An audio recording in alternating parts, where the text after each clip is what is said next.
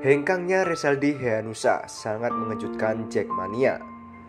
Sebenarnya, faktor apa sih yang membuat Resaldi Heanusa sampai hengkang ke klub rival? Apakah penyebabnya Thomas Doll? Berikut ulasannya.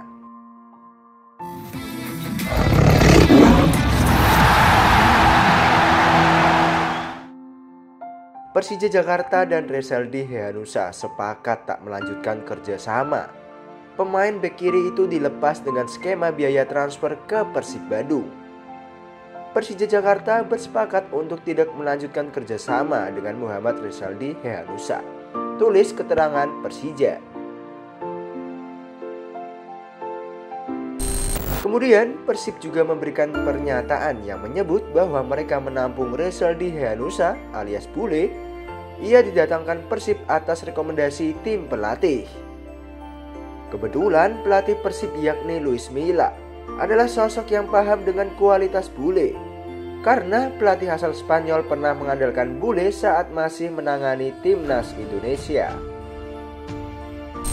Jelas, kepergian bule dari Persija Jakarta sangat disayangkan oleh Jackmania. Pasalnya, Rizaldi Herusa sudah sangat lama membela tim Macan Kemayoran. Ditambah rivalitas panas antara Persib dan Persija Jakarta menjadi salah satu faktornya.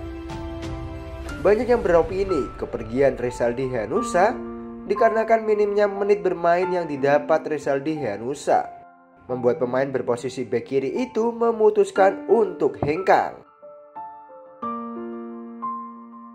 Di bawah asuhan Thomas Doll, Bule tercatat hanya bermain empat kali saja. Apakah Resaldi Hanusa tidak suka dengan Thomas Doll?